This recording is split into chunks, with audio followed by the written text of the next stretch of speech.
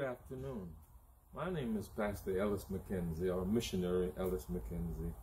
And uh, last week I received a large donation of food, which um, we would like to send to the Caribbean. As you know, the Caribbean has been hit with this COVID and there's no uh, tourism, probably about 1%, which is almost nothing. And they are having problems in receiving food. I received a large amount of food, and I would love for you if you could make some donation to help us with the shipping. Some of those food will go to Haiti, Jamaica, uh, Dominica, the U.S. Virgin Island, and a few other places. The cost for that shipment is going to be about $2,200.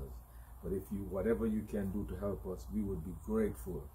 My cash app is Ellis McKenzie or Dollar Ellis McKenzie or PayPal Ellis McKenzie.